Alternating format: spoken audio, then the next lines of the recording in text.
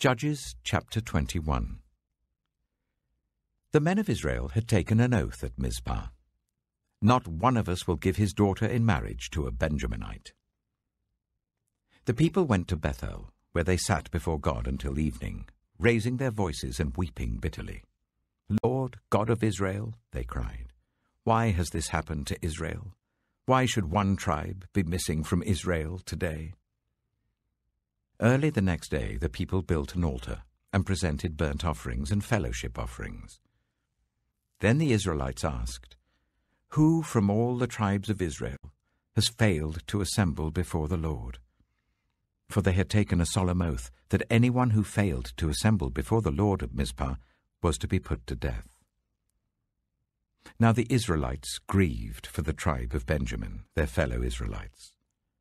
Today one tribe is cut off from Israel, they said. How can we provide wives for those who are left, since we have taken an oath by the Lord not to give them any of our daughters in marriage? Then they asked, Which one of the tribes of Israel failed to assemble before the Lord at Mizpah? They discovered that no one from Jabesh Gilead had come to the camp for the assembly. For when they counted the people, they found that none of the people of Jabesh Gilead were there. So the assembly sent 12,000 fighting men with the instructions to go to Jabesh Gilead and put to the sword those living there, including the women and children. This is what you are to do, they said. Kill every male and every woman who is not a virgin. They found among the people living in Jabesh Gilead 400 young women who had never slept with a man and they took them to the camp at Shiloh in Canaan. Then the whole assembly sent an offer of peace to the Benjaminites at the rock of Rimmon. So the Benjaminites returned at that time and were given the women of Jabesh Gilead who had been spared. But there were not enough for all of them. The people grieved for Benjamin because the Lord had made a gap in the tribes of Israel. And the elders of the assembly said, with the women of Benjamin destroyed, how shall we provide wives for the men who are left? The Benjaminite survivors must have heirs, they said, so that a tribe of Israel will not be wiped out. We can't give them our daughters as wives, since we Israelites have taken this oath Cursed be anyone who gives a wife to a Benjaminite. But look, there is the annual festival of the Lord in Shiloh, which lies north of Bethel east of the road that goes from Bethel to Shechem and south of Lebonah. So they instructed the Benjaminites, saying, Go and hide in the vineyards and watch. When the young women of Shiloh come out to join in the dancing, rush from the vineyards, and each of you seize one of them to be your wife. Then return to the land of Benjamin. When their fathers or brothers complain to us, we will say to them, do us the favor of helping them, because we did not get wives for them during the war. You will not be guilty of breaking your oath, because you did not give your daughters to them. So that is what the Benjaminites did. While the young women were dancing, each man caught one and carried her off to be his wife. Then they returned to their inheritance and rebuilt the towns and settled in them. At that time, the Israelites left that place and went home to their tribes and clans, each to his own inheritance. In those days, Israel had no king. Everyone did as they saw fit.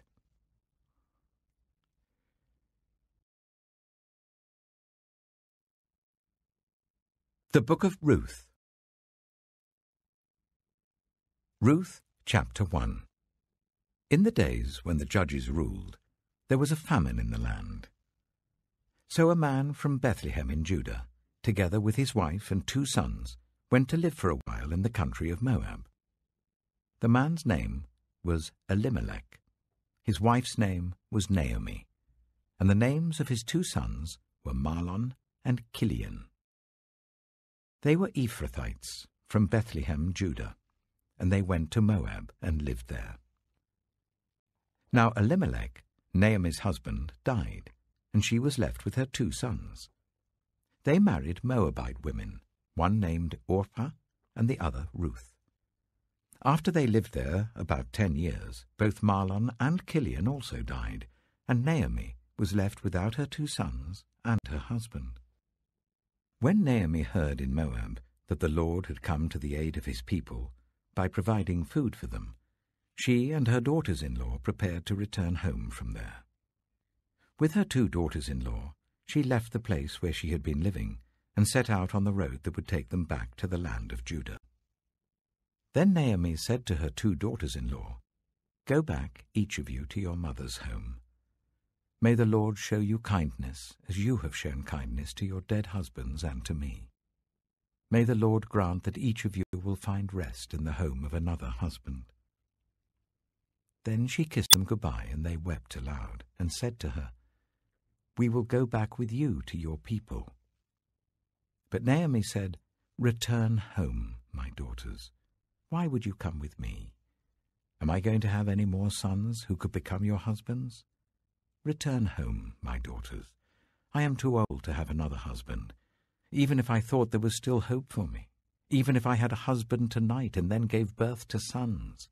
Would you wait until they grew up? Would you remain unmarried for them?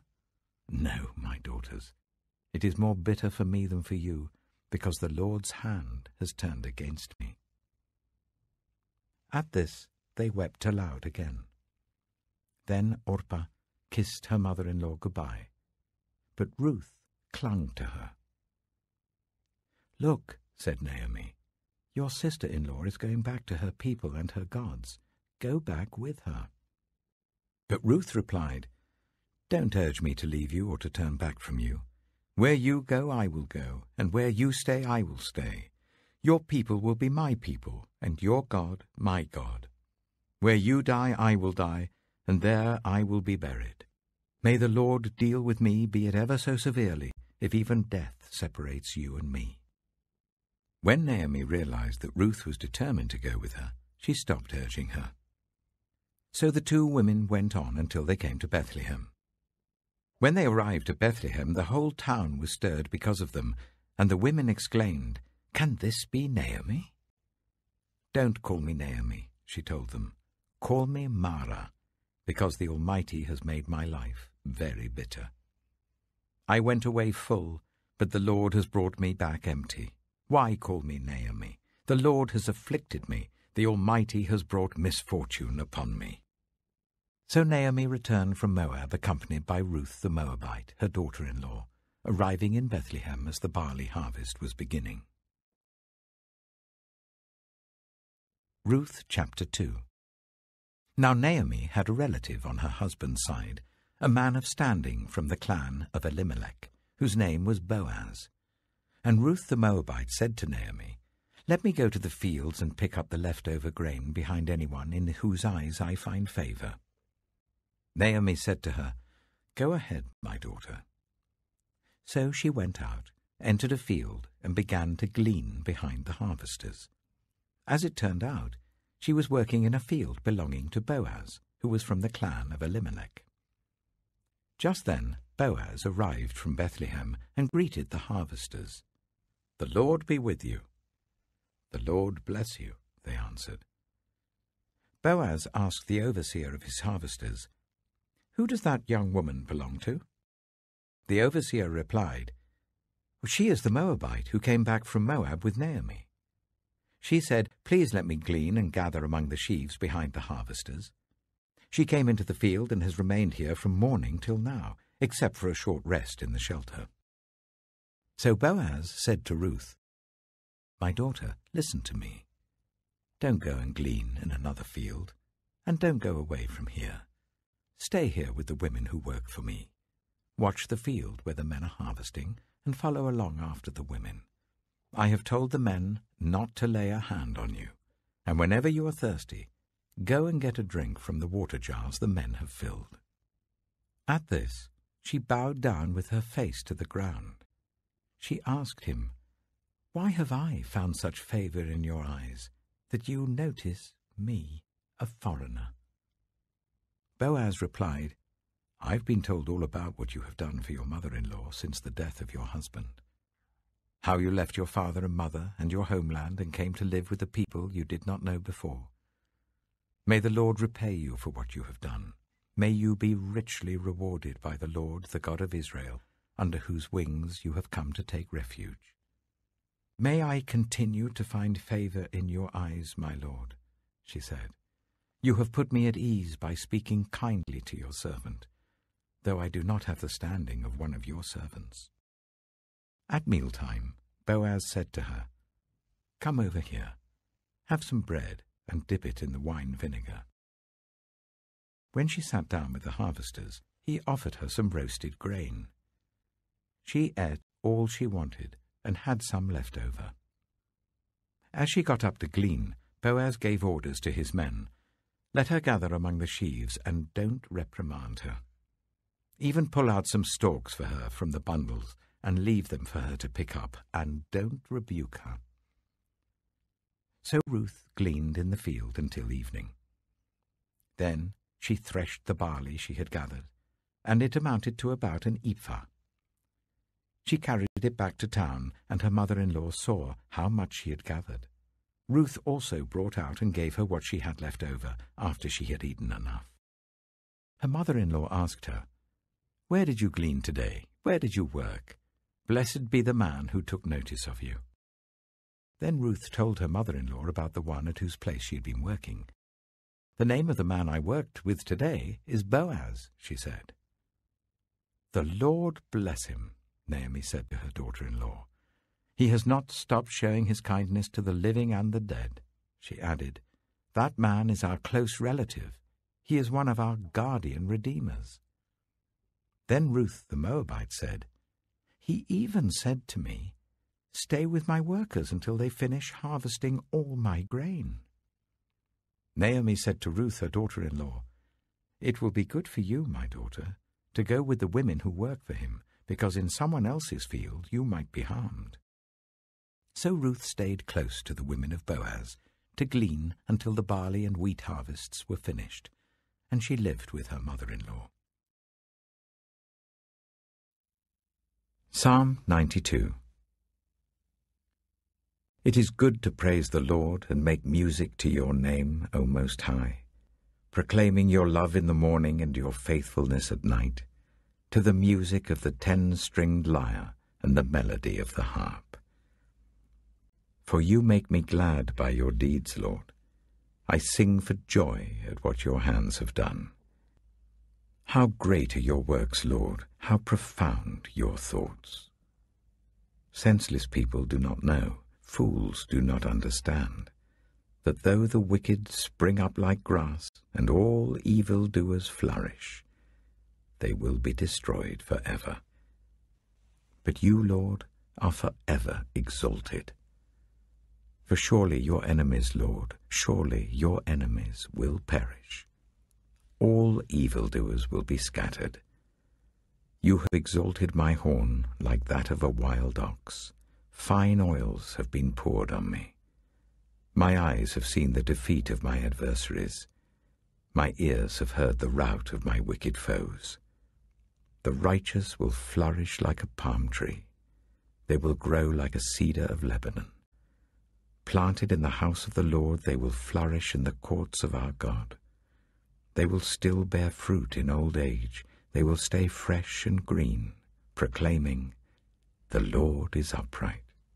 He is my rock, and there is no wickedness in him. Proverbs chapter 30 The sayings of Agur, son of Jakeh, an inspired utterance. This man's utterance to Ithiel. I am weary, God, but I can prevail. Surely I am only a brute, not a man. I do not have human understanding. I have not learned wisdom, nor have I attained to the knowledge of the Holy One. Who has gone up to heaven and come down? Whose hands have gathered up the wind? Who has wrapped up the waters in a cloak? Who has established all the ends of the earth? What is his name? And what is the name of his son? Surely you know. Every word of God is flawless. He is a shield to those who take refuge in him. Do not add to his words or he will rebuke you and prove you a liar. Two things I ask of you, Lord. Do not refuse me before I die. Keep falsehood and lies far from me. Give me neither poverty nor riches, but give me only my daily bread. Otherwise I may have too much and disown you and say, Who is the Lord? Or I may become poor and steal and so dishonor the name of my God. Do not slander a servant to their master, or they will curse you, and you will pay for it. There are those who curse their fathers and do not bless their mothers, those who are pure in their own eyes and yet are not cleansed of their filth, those whose eyes are ever so haughty, whose glances are so disdainful, those whose teeth are swords and whose jaws are set with knives to devour the poor from the earth and the needy from among the human race. The leech has two daughters. Give, give, they cry. There are three things that are never satisfied, four that never say enough. The grave, the barren womb, land, which is never satisfied with water, and fire, which never says enough. The eye that mocks a father, that scorns an aged mother, will be pecked out by the ravens of the valley, will be eaten by the vultures. There are three things that are too amazing for me, four that I do not understand.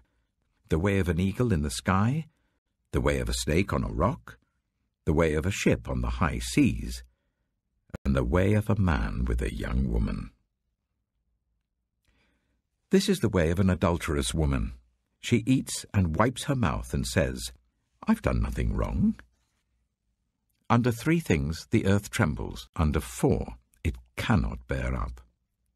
A servant who becomes king, a godless fool who gets plenty to eat, a contemptible woman who gets married, and a servant who displaces her mistress. Four things on earth are small, yet they are extremely wise. Ants are creatures of little strength, yet they store up their food in the summer. Hyraxes are creatures of little power, yet they make their home in the crags. Locusts have no king, yet they advance together in ranks. A lizard can be caught with the hand, yet it is found in kings' palaces. There are three things that are stately in their stride, four that move with stately bearing. A lion, mighty among beasts, who retreats before nothing a strutting cock, a he-goat, and a king secure against revolt. If you play the fool and exalt yourself, or if you plan evil, clap your hand over your mouth. For as churning cream produces butter, and as twisting the nose produces blood, so stirring up anger produces strife.